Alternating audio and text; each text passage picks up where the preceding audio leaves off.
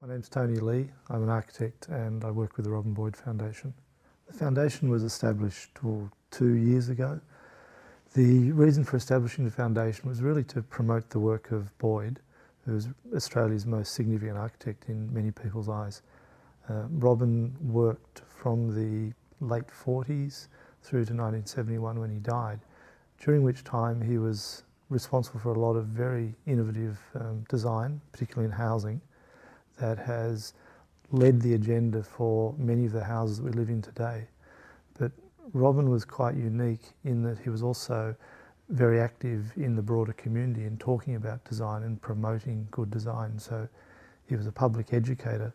So the foundation was established really to continue the work that Robin was doing in promoting the benefits of design to the broader community and making sure that a house like this could be retained in perpetuity as an example of the best of the work of the 50s and 60s. We're currently sitting in what's known as the Robin Boyd House 2 or 290 Walsh Street, South Yarra. It was a house that Robin designed for his family in 1957, was built in 1958 and the family moved in in 59. As I said, it's the second house that Robin designed for himself, the first being in Camberwell, which was very small, um, basic house they lived in just after they were married. And this house came about when Robin and his wife Patricia came back from the US, where Robin had been lecturing at um, MIT, and they decided they wanted to live closer to the city. So they wanted an inner urban house, and Robin designed this house.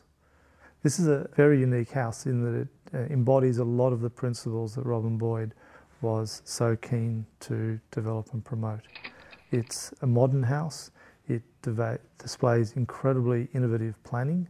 It's an open plan house that reflects today's living needs more so than the living needs of the 50s.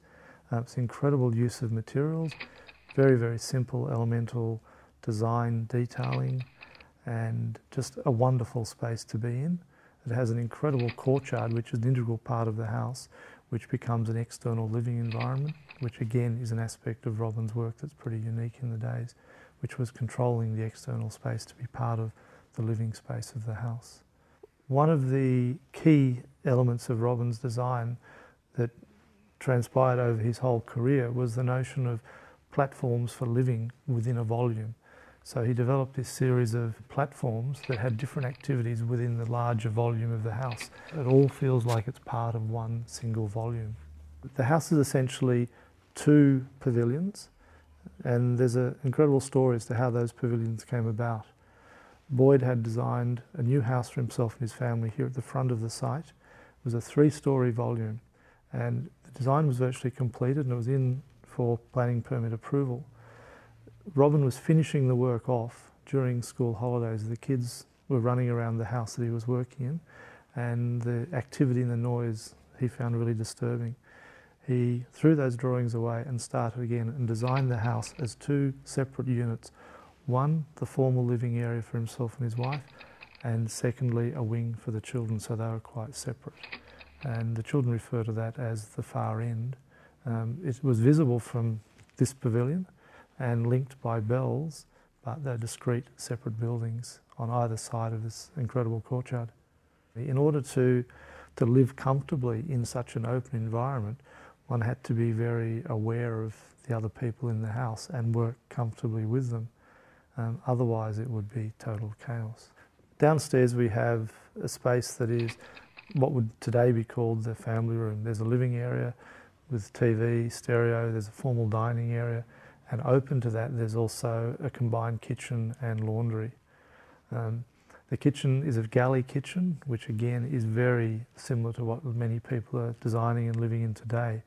Um, there's an incredible photograph taken by Mark Strizic in the early 60s of Robin's wife Patricia standing in the kitchen and the photograph was used as an advertisement for the Gas and Fuel Corporation and the caption on the time was uh, the modern woman's ideal kitchen.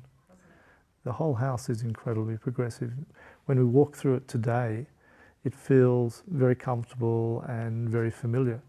But when you think that the house was actually designed 50 years ago, um, it's incredibly progressive and quite radical for its time. because at the time it was built, most people's houses consisted of individual cell, one for the kitchen, one for the laundry, one for the dining room, etc.